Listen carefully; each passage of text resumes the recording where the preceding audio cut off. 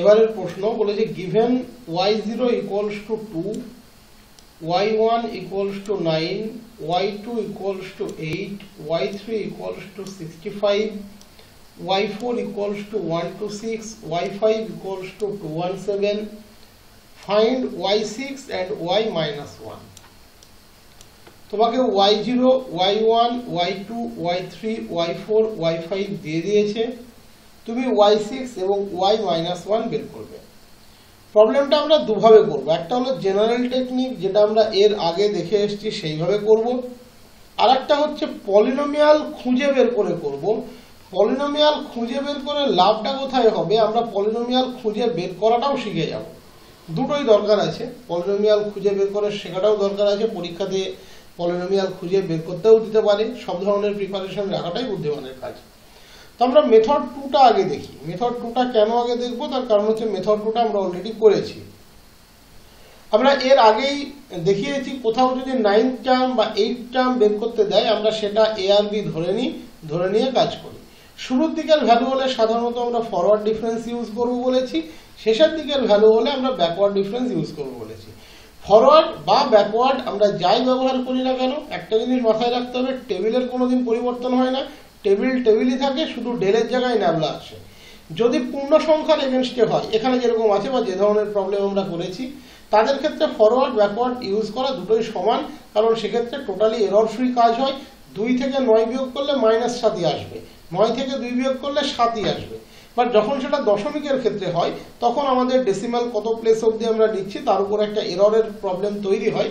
যে কারণে যখন দশমিকের কেস আসবে, তখন শুরুর ভ্যালু বললে আমরা শুধুমাত্র ফরওয়ার্ড ইউজ করব এরর ফ্রি করার জন্য।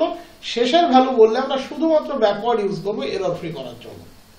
বাট পূর্ণ সংখ্যায় থাকলে তুমি ফরওয়ার্ড ব্যাকওয়ার্ড যেটা খুশি ইউটিলাইজ করতে পারো, কোনো প্রবলেম নেই। এবার তুমি বলবে যে এখন অবধি তো একটাও দশমিকের অঙ্ক করালেন না। সেটা করবে কখন? যখন তোমাদের এর পরের চ্যাপ্টার ইন্টারপোলেশনে যাবে, তখন পাবে নিউটন ফরওয়ার্ড নিউটন ব্যাকওয়ার্ড তখন আমি যেটা বলছি ক্লিয়ারলি আরও বুঝতে পারবে। তো আমরা প্রথমে প্রচলিত মেথডটা করি, যেটা আমরা অলরেডি শিখেছি। এখানে ওয়াই মাইনাস ওয়ান বের করতে বলেছে। তার মানে এখানে শুরুর আর্গুমেন্ট কিন্তু মাইনাস ওয়ানের জন্য।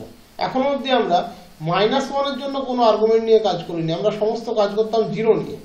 জিরোতে দুই, একে নয়, দুয়ে আঠাশ, তিনে পঁয়ষট্টি, চারে একশো ছাব্বিশ, পাঁচে একশো সতেরো দুশো সতেরো। Y six Y minus one তার মানে এখানে শুরুর আর্গুমেন্টটা কিন্তু Y minus one Y minus one this is the শুরুর আর্গুমেন্ট শেষের ভ্যালু একটা বের করতে বলেছে ওয়াই সিক্স তার মানে এখানে শুরু এবং শেষ দুটোই বের করতে হবে। যেহেতু পূর্ণ সংখ্যায় আছে, আমরা কোনো টেনশন ফ্রি থাকব।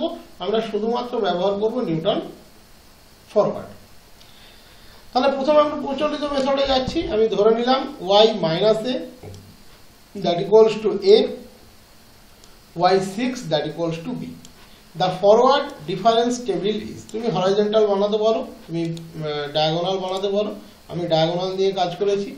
প্রথমে এক্স তারপরে ওয়াই তারপরে ডেল ওয়াই তারপরে ডেল টু ওয়াই তারপরে ডেল থ্রি ওয়াই তারপরে ডেল ফোর ওয়াই ডিসিশন আমরা প্রেসক্রাইব ভ্যালুর এগেনস্টে নেব, এটা আমরা জানি।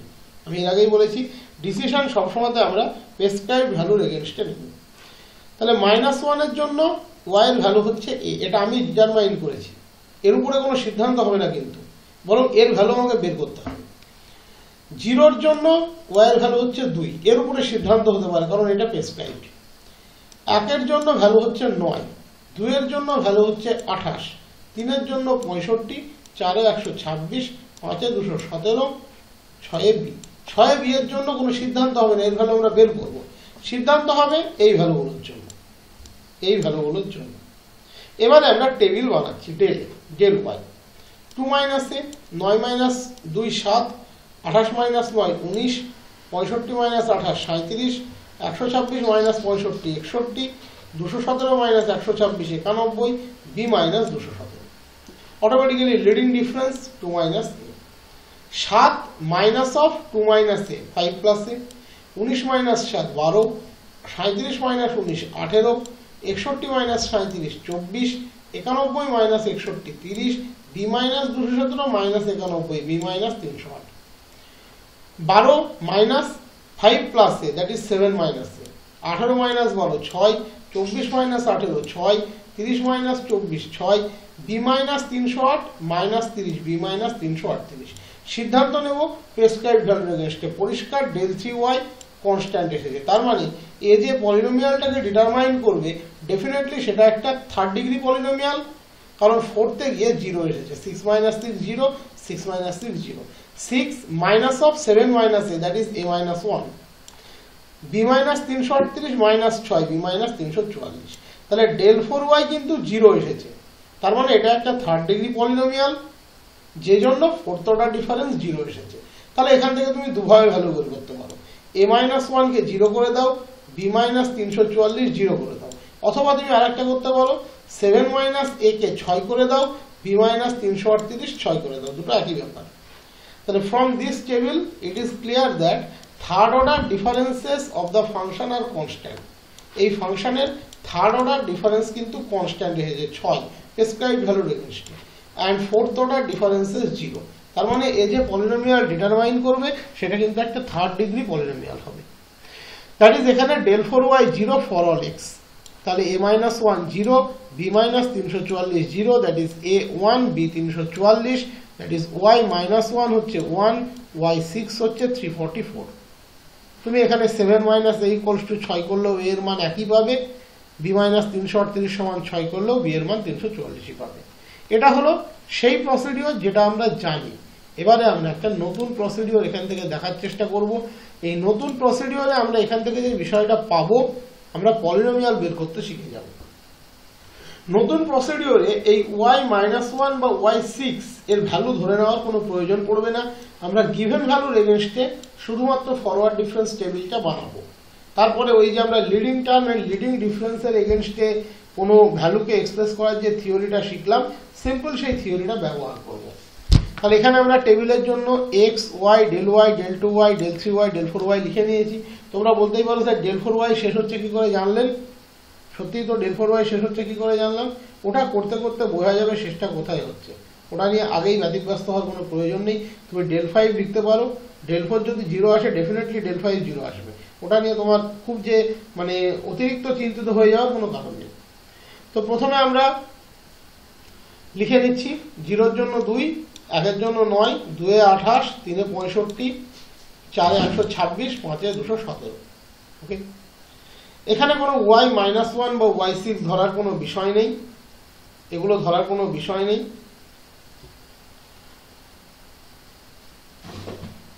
নয় মাইনাস দুই, সাত আঠাশ মাইনাস নয়, উনিশ, পঁয়ষট্টি মাইনাস আঠাশ সাঁত্রিশ একশো ছাব্বিশ মাইনাস পঁয়ষট্টি একষট্টি, দুশো সতেরো মাইনাস একশো ছাব্বিশ, একানব্বই। উনিশ মাইনাস সাত, বারো সাঁত্রিশ মাইনাস উনিশ, আঠেরো, একষট্টি মাইনাস সাঁত্রিশ চব্বিশ, একানব্বই মাইনাস একষট্টি, তিরিশ। আঠেরো মাইনাস বারো, ছয়, চব্বিশ মাইনাস আঠেরো, ছয়, তিরিশ মাইনাস চব্বিশ, ছয়। ছয় মাইনাস ছয়, জিরো, ছয় মাইনাস ছয়, zero.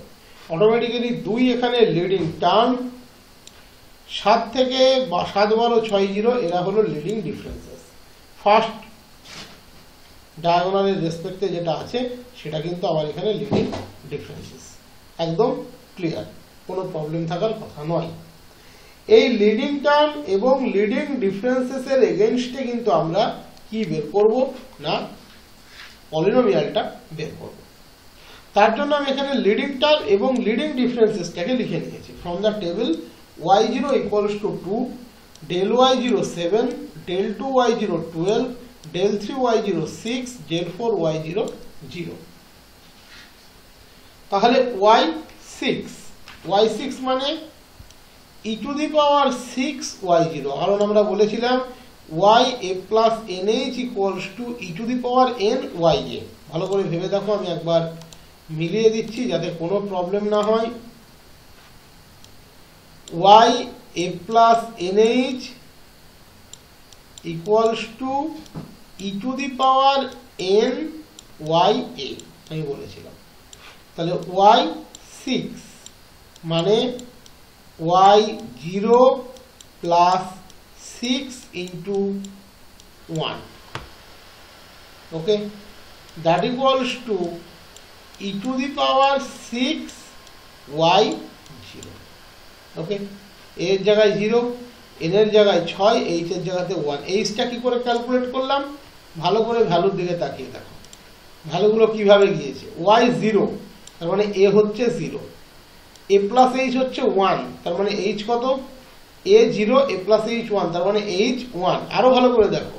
A plus H one A plus H two H two তার মানে H one A plus three H three তার মানে H one A zero A plus four H four তাহলে A zero H one A plus five H five A zero H one that is এখানে গ্যাপিংটা গিয়েছে zero থেকে one one থেকে two two থেকে three three থেকে four four থেকে five that is বাড়তে বাড়তে গিয়েছে ওয়ান করে এখানে তাকালেই বুঝতে পারবে।